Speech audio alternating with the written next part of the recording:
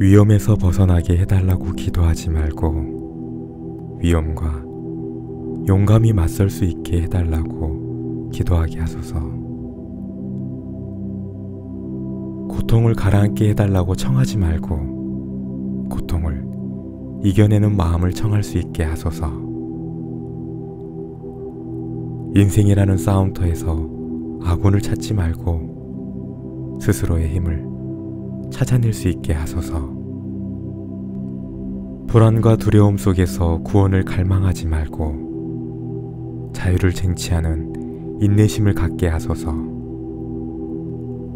성공 속에서만 당신의 은혜를 느끼는 비겁한 자가 아니라 시리에 빠졌을 때야말로 당신의 귀한 손을 잡고 있음을 알아채게 하소서. 방금 들려드린 시는 라빈드라 나트 타고르의 기도라는 시입니다. 1913년 아시아 최초로 노벨 문학상 수상자이시면서 현대 인도 문학을 대표하는 위대한 시인이자 교육가입니다.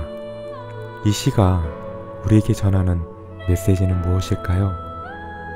따로 종교가 있지 않더라도 많은 사람들이 기도라는 단어를 씁니다. 하지만 그 기도가 가지고 있는 참뜻은 무엇일까요? 타고로의 기도라는 시를 통해 기도에 대해서 생각해 보게 되면서 이 시간을 가져봅니다.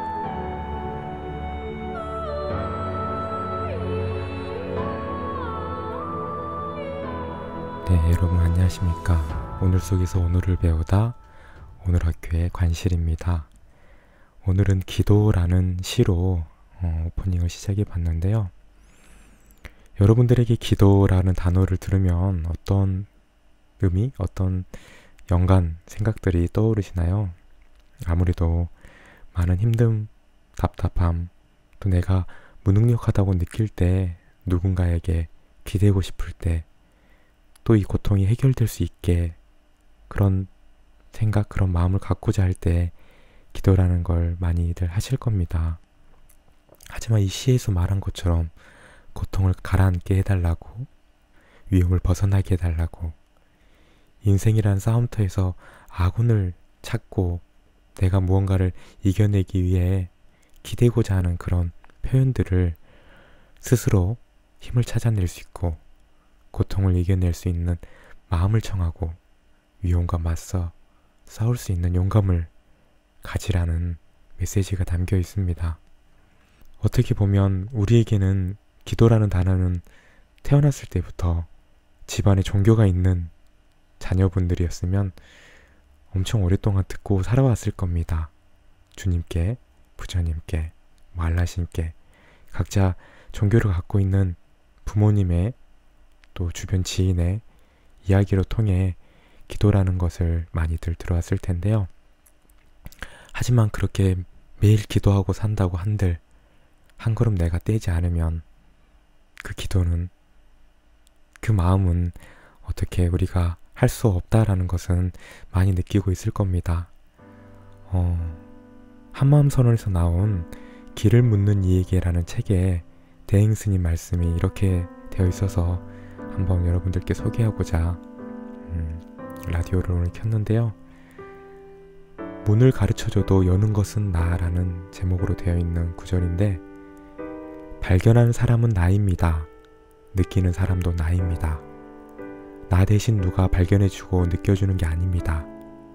대신했다면 그것은 그 몫이 나의 몫이 아닙니다. 나의 느낌, 나의 체험이 아닙니다. 밥을 먹고 배부르는 것은 나이지 그가 아닙니다. 나 위에 누가 되었든 나 대신해서 배부르게 해줄 수 없고 잠자줄 수 없고 아파줄 수 없고 배설해줄 수 없고 죽어줄 수 없고 느껴줄 수 없습니다. 그런데 어떻게 나를 대신해서 참나를 찾아줄 수 있습니까? 어떻게 발견해주고 느끼게 해줄 수 있습니까? 물론 가르쳐 줄 수는 있습니다. 길을 가르쳐 주고 문을 가르쳐 줄 수 있습니다. 그러나 가르쳐 줄 수 있을 뿐 들어가는 것, 찾아내는 것, 여는 것은 바로 나 자신입니다. 네.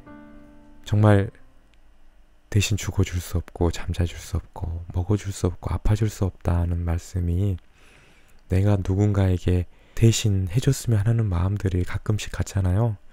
저 역시도 마찬가지로 힘들거나 지치고 답답할 때는 그냥 다 놓고, 어, 그냥 누가 대신 해줬으면 좋겠다라는 마음들이 가긴 하는데 정말 힘들 때 정말 나를 더 잘 볼 수 있는 시간들이기도 하는 것 같아요. 이걸 내가 어떻게 해결하려고 하지? 내가 어떻게 또 대처하고 있지? 라는 부분들 하면 앞서 오늘 라디오에서 다뤘던 방어 기제와 좀 연결되는 주제인 것 같습니다. 설사 부처님이 곁에 계시고 선사들이 내 손을 잡아준다 해도 이렇게 하라, 하지 말라 하고 일러줄 수는 있지만 대신해주고 이건 네가 한 것이다 라고 할 수는 없습니다. 하는 건 내가 하는 것이기 때문입니다. 가령 여기에 신이 있고 절대자가 있다 할지라도 선악과를 따먹지 말라고 말할 뿐 먹고 안 먹고 하는 것은 아담과 이브의 몫이었듯이 우리가 살아가면서 진짜 알아야 될 것은 매 순간 선택은 누가 하는가에 대한 물음입니다. 자신 앞에 벌어진 모든 일들은 다른 사람의 몫이 아니라 자신의 몫이라는 것을 우리가 진짜 알아야 되고 또 미루려고 하는 마음, 피하려고 하는 마음에 대해서 한 번 더 살펴보는 시간들이 되었으면 좋겠습니다. 그럼 어떻게 선택해야 될까요? 자신에게 묻고 자신에게 답할 수 있는 여유가 있는 시간들이 되면 좋을 것 같습니다. 어, 시작쯤에 기도라는 단어가 빌기의 빌도라는 단어로 한자로 되어 있다고 그랬는데 그 밑에 기도라는 단어에 다른 어, 한자로 되어 있는 뜻이 있습니다. 꾀알기의 그림도 어떤 일을 이루기 위해 계획을 세우거나 그 계획을 실현을 꾀함이라고 되어 있습니다.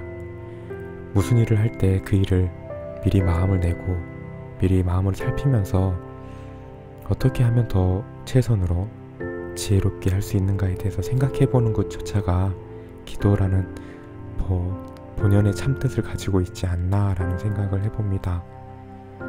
오늘 속에서 여러분들의 기도라는 단어는 어떤 의미를 가지고 있을까요? 오늘 속에서 오늘 또 배워봅니다. 오늘 학교의 관실이었습니다.